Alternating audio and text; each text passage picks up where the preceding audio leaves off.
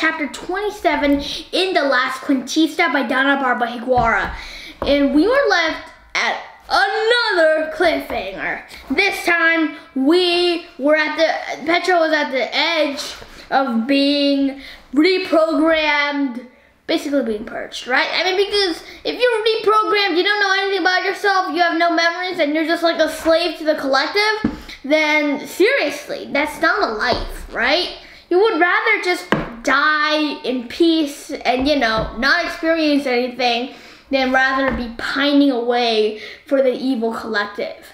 Um, at least I wouldn't. Um, now, I have a question.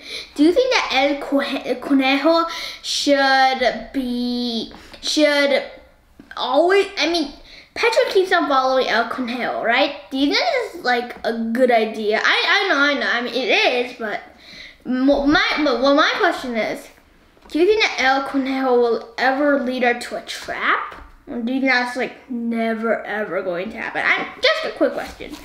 Um, now, do you think that now Petra is going to lose her memories forever or not? And while she's having this dream right now in the real world, what do you think is happening?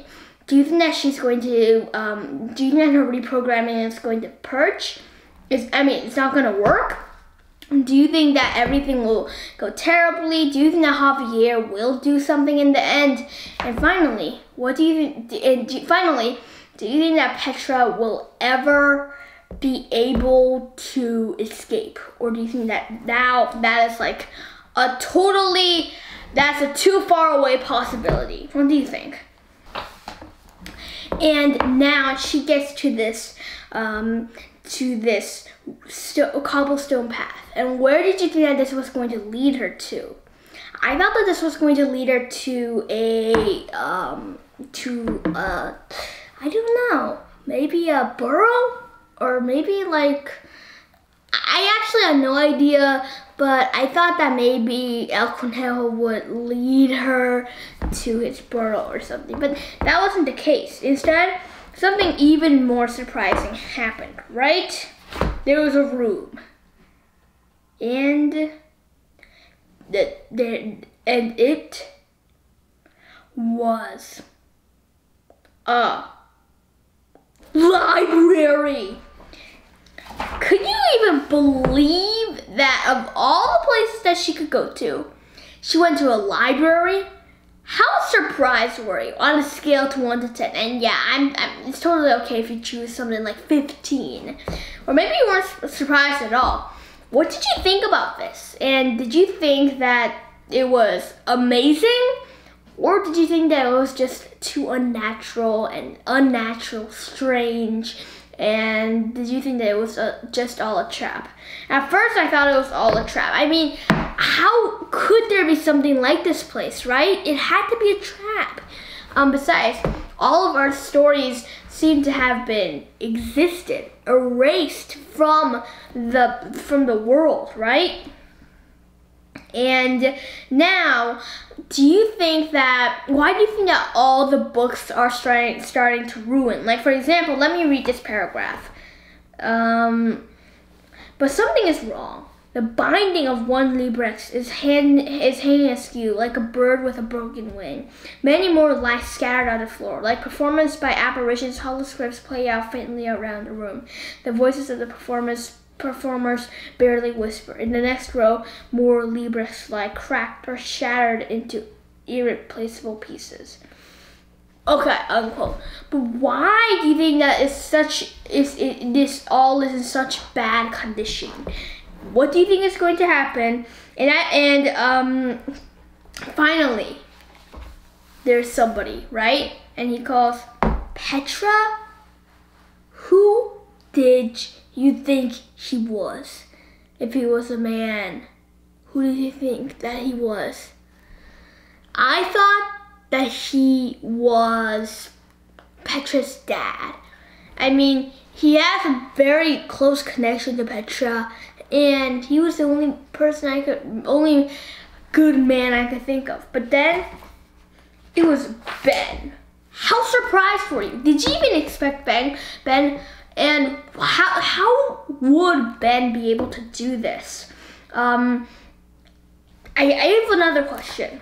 Do you think that Petra, that this is all real, or do you think that this is just some kind of hallucinations, a dream, just a dream, nothing else?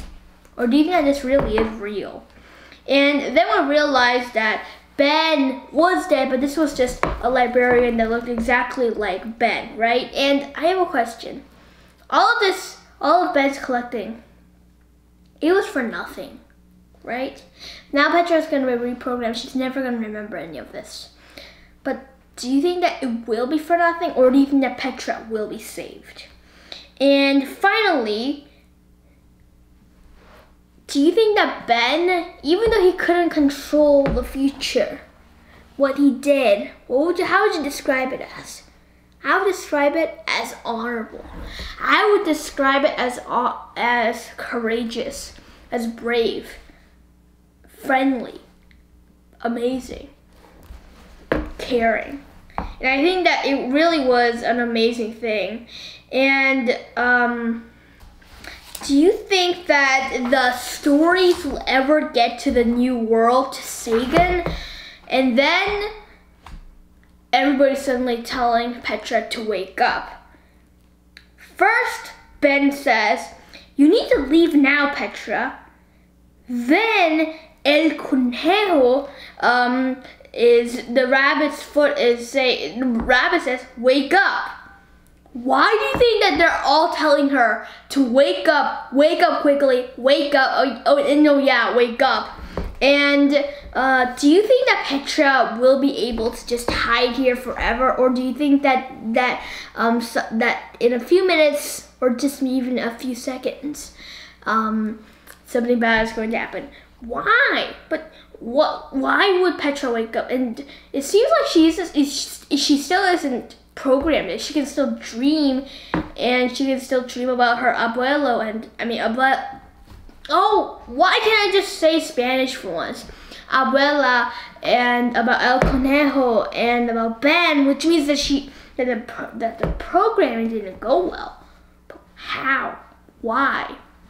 And finally, Lita, Lita stomps the ground and says, Wake up now. And that is how we will leave, okay? Um, the last question I will ask is this. How awesome do you think the librarian is? Basically, just like a, he's just a program, but still, he, he's Ben. He's sort of like Ben, right? I mean, how awesome was that piece of technology? Just wanted to ask because who knows? Maybe Ben, maybe things like that will happen someday. Would you like to have sort of like a program of yourself? No? Totally understand. Well, we have just talked about chapter 27, another short chapter. Next, we're going to talk about top, we're going to talk about chapter 28 29. And we're soon going to finish the book, especially because there is only, let's see, only, uh, did I miss a page? Uh, yes, I did. Um, wow, the last page, the last chapter is very long. There are 30 chapters. Now we finished 27. That means that there's 28, 29, 30. Three more chapters to go. We will cover the next one, next class, and just, yeah, three more lessons to go.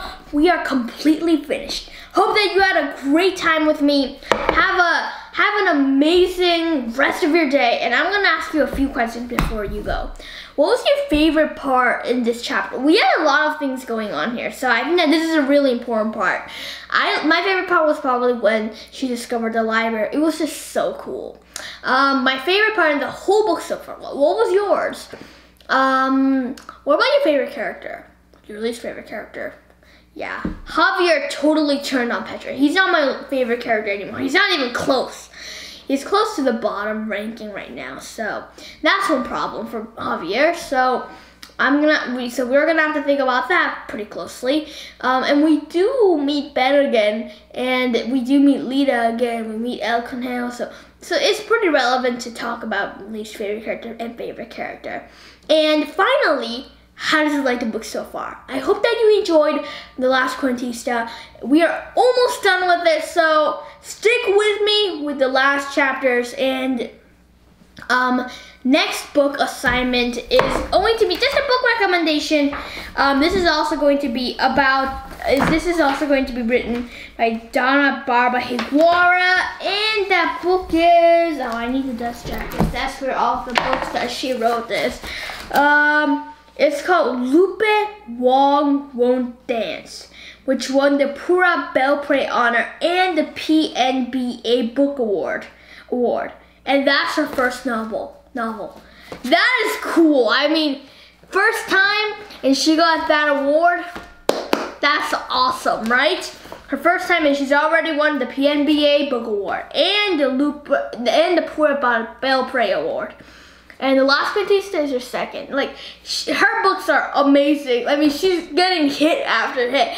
The Last Cuentista won the Newbery Medal. Um, so, Lupe Wong won't dance try that one out. That might be fun, right?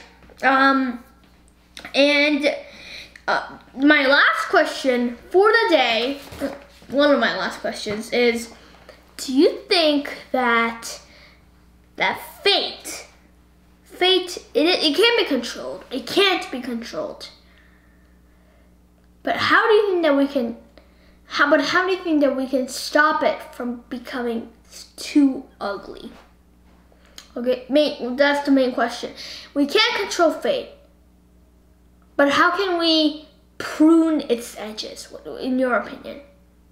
Yeah, making good choices, saying good things, eating good things, um, just trying to live the best possible life, be kind.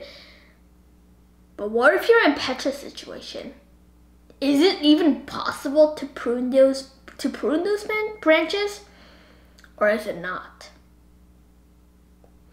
Predictions, I mean, I already asked you a lot of questions that were sort of like predictions like, do you think that Petra is going to live? Think Petra is going to be able to resist this? So, I mean, that's basically predictions. So, I guess that we don't need to ask predictions. So, I'm going to talk about something that Petra does not have access to. Good food. She only eats Biolope, which is, right? So my question for the day is, what's one of your favorite foods? I know sometimes you can't choose your favorite food, right? Exactly. So just one of your favorite foods. I'm gonna choose